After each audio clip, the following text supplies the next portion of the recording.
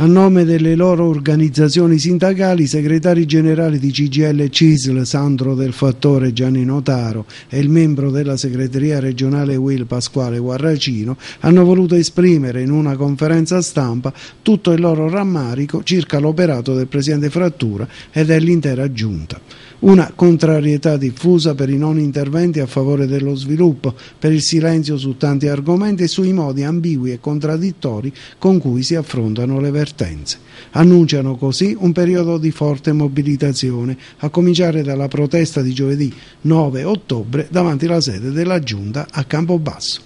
Noi lo avevamo già detto nei mesi scorsi che se non avessimo avuto risposte concrete ai tanti problemi e alle tante vertenze aperte sul territorio, problemi e vertenze che hanno dato luogo alla grande manifestazione del 28 giugno scorso, avevamo detto che se non avessimo avuto risposte saremmo tornati a mobilitarci. Siamo a questo. Siccome non abbiamo avuto risposte, torneremo a mobilitarci sui problemi che abbiamo sollevato nel 28 giugno, dall'area di crisi, su cui noi ci siamo impegnati molto, abbiamo sottoscritto un'intesa tra le istituzioni, le parti sociali, ma di cui non sappiamo più nulla.